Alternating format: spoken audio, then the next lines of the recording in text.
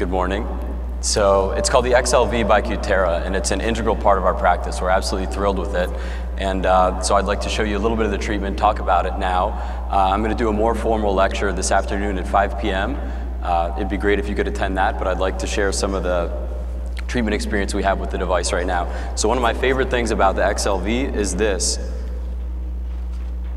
turning it on. Um, because if you've ever used vascular lasers, and I've used a bunch, I did a laser fellowship up at Skincare Physicians in Chestnut Hill, Massachusetts, and uh, so I was the fellow there, and if by mistake we turned off one of their vascular lasers, we were punished severely because it would take a significant amount of time to get it back online.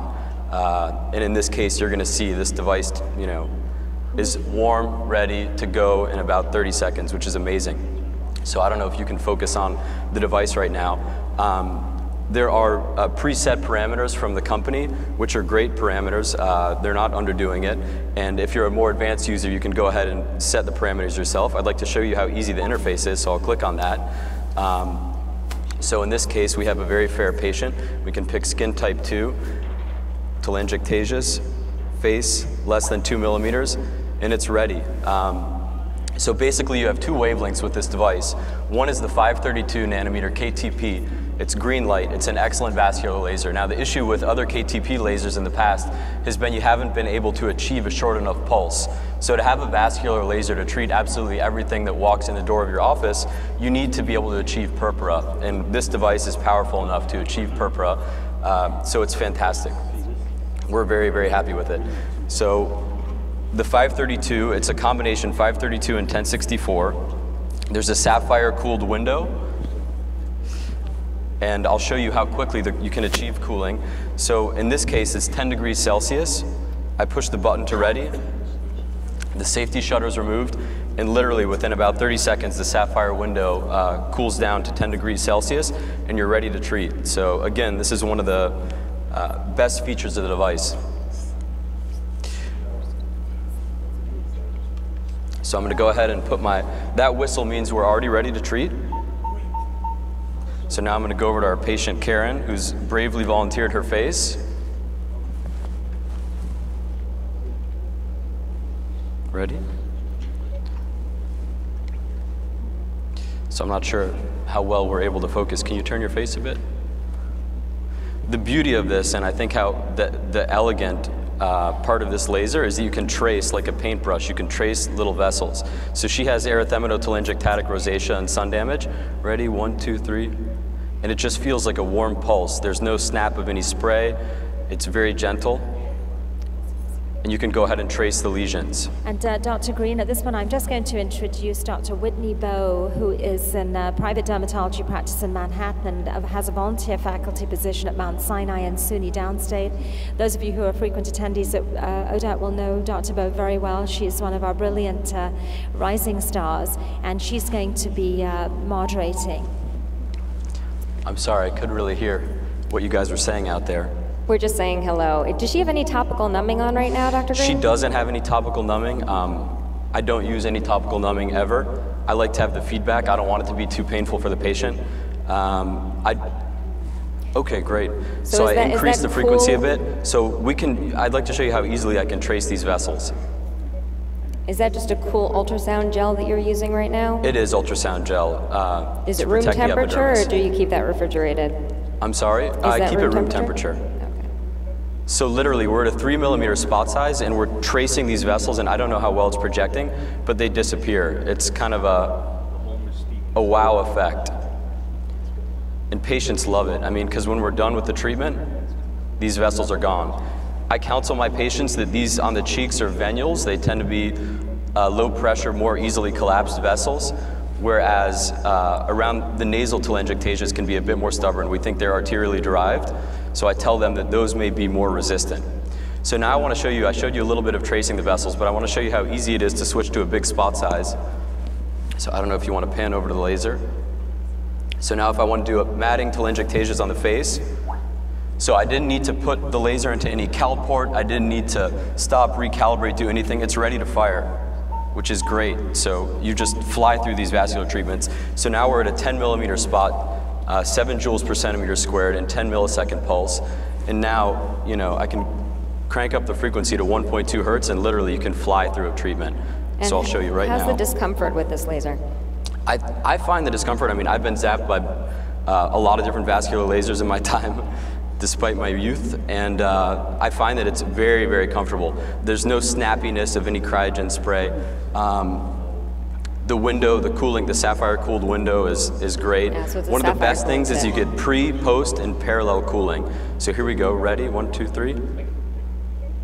So you can literally fly through a treatment. The beauty of, of this device is the visualization, because you're getting pre, post, and parallel uh, cooling. So literally, the cooling is, is continuous. And what you can notice with what Dr. Green is doing is that he's not actually putting too much pressure on the area, and that's actually important when you're treating a vascular lesion. You know, with certain sapphire tips, we're actually taught to put pressure on to help kind of maintain the comfort level for the patient. If you do that, when you're treating a vascular lesion, you're going to blanch that lesion. So when the laser actually, you know, starts emitting, you're not going to have your target there anymore. So he's just kind of gently going across the surface.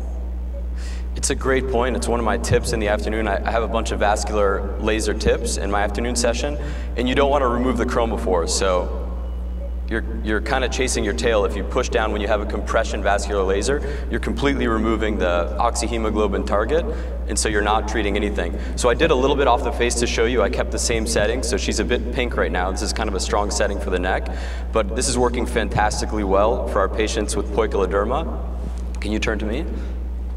So again, I, I haven't started treating this cheek yet, and we'll start now. So this looks like it would be great for, you know, rosacea, telangiectasias that are, you know, in the corners of the nose, um, your poikiloderma, any any kind of It really um, is. settings and again, the beauty lines. of this versus uh, other KTP lasers I've used is you can shorten the pulse to achieve purpura. That's been the knock on the KTP lasers in the past, is that you need purpura to be able to treat port wine stains. You want to be able to treat scars, um, other conditions. And you see there's a bit of erythema. She's very comfortable during the procedure. There's no snapping, startling of any, any spray or anything else.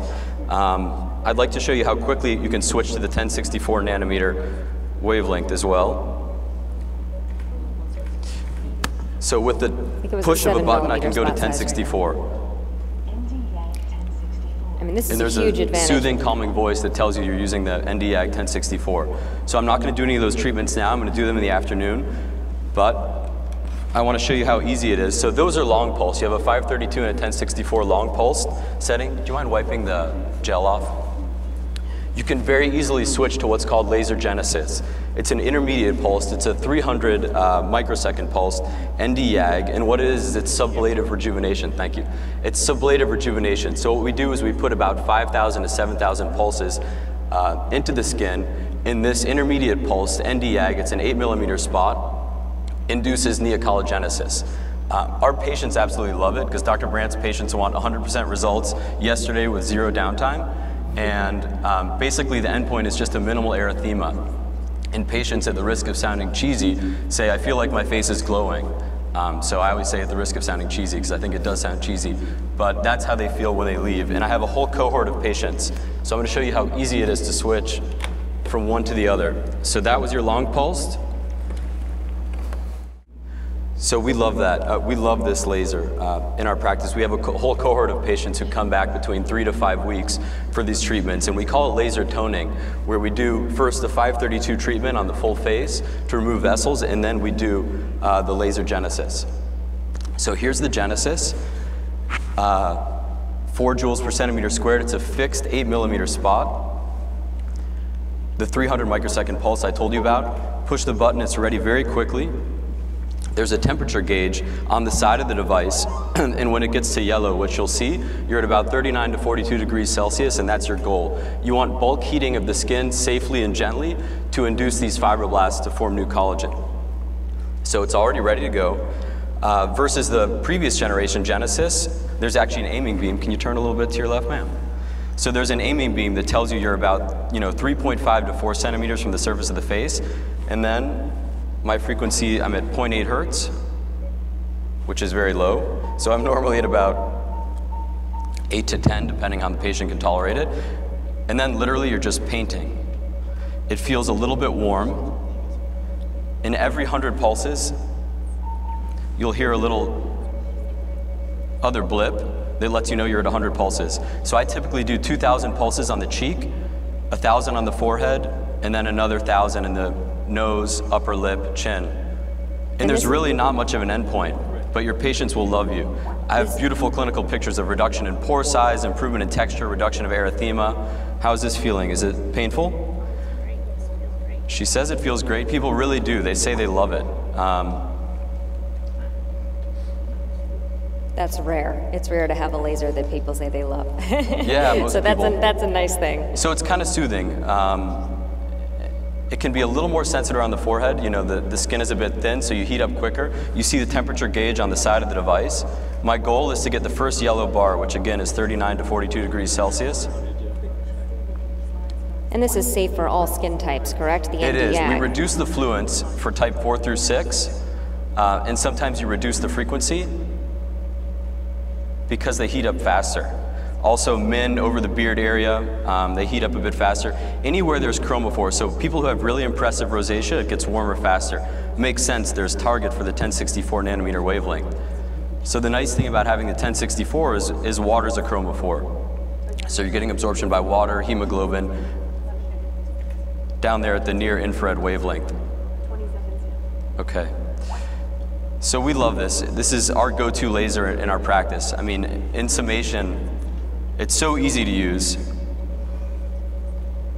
And when she goes home, what should she be doing? What are her post-care instructions? I'm sorry? What are her post-care instructions when she goes home? Her post-care, I usually tell my patients when I do vascular laser treatments, don't do anything that makes you flush for one to two days.